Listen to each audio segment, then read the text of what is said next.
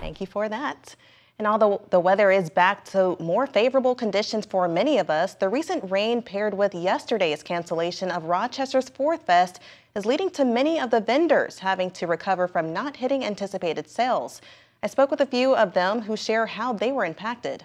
Yesterday was expected like um, to be there, but uh, you know the weather we never know. F&J Compadres, Minnesota Shave Ice, and True Smoke Barbecue were just a few of the food and beverage vendors that were expected to be on the grounds of Soldiers Field Memorial Park for Rochester's Fourth Fest. But after Thursday's rain washed out the event, businesses such as Fernando Garcia's missed out on some anticipated sales. Talk about um, uh, over 2,000 or more or but they weren't the only ones. We probably lost around three thousand to thirty four hundred dollars, which is what we've done the last couple years. Nick Kraus is one of the owners of Minnesota Shave Ice.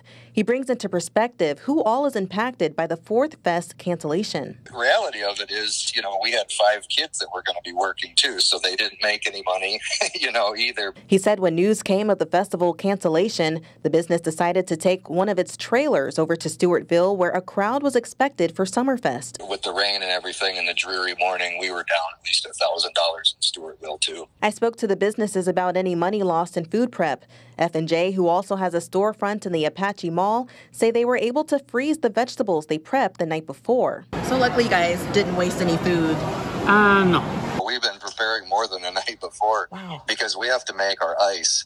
So we make our own ice 19 blocks at a time, so it takes us days. Unfortunately, other businesses took a major hit. True Smoke Barbecue said it had to cook its big meats the entire night before the event. True's pit master shared a statement saying in part quote, "That event is our largest event of the year, and we had cooked enough to serve approximately 500 meals as we typically sell out when we go and didn't want to let our supporters down. I was in a slight panic when the email to cancel finally came. The financial potential was a huge loss that I'm not going to be able to recover no matter what I do, and it being our very last year vending, the financial stress was very real." End quote.